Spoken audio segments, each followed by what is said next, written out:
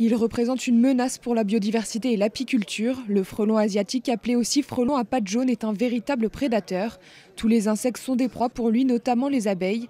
Il met en péril les exploitations des apiculteurs.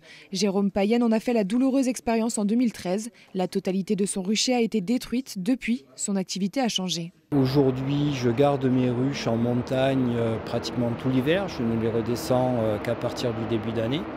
Euh, justement pour éviter cette prédation, avec comme conséquence eh bien, la perte des, des récoltes tardives sur le littoral, c'est-à-dire euh, plus de bruyères roses, plus d'arbousiers, alors qu'il y a une demande. Euh, d'autre part, ces ruches qui étaient sur ces zones de littoral à l'automne refaisaient de l'abeille, refaisaient des provisions pour passer l'hiver.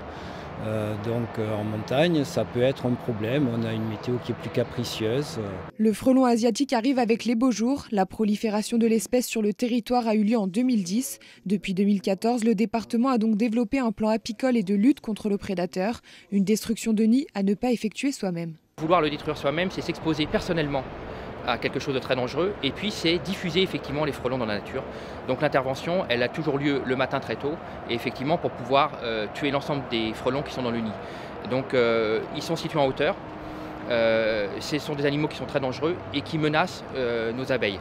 Donc n'essayez surtout pas de le faire vous-même. vous exposeriez à des, piqûres importantes et vous ne feriez que développer les frelons sur le territoire.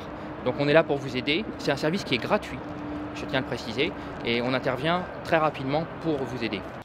900 nids ont été signalés dans les Alpes-Maritimes. Les services du département missionnent des entreprises spécialisées pour détruire le frelon. Un traitement par drone simple et efficace. Le produit, c'est un, produit à base de permétrine que tout le monde utilise, hein, que tous les professionnels utilisent. C'est un neurotoxique puissant qui fait que ça, paralyse le cerveau tout simplement et le frelon meurt en quelques minutes. Et l'avantage de ce produit, c'est que le, nid reste contaminé euh, sur 6 mois. ce qu'on a remarqué, c'est que quand on on mettait une échelle sur un arbre, euh, les frelons avaient une suractivité, étaient énervés, alors que là, avec un vol stationnaire en face du, nid, euh, le drone n'effraie pas du tout donc, euh, les, frelons, et ce qui fait qu'il n'y a pas d'attaque au sol avec les frelons. La destruction est préférable entre la création du nid et la fin de l'automne. Le département assurera cette lutte du 16 avril au 7 décembre prochain.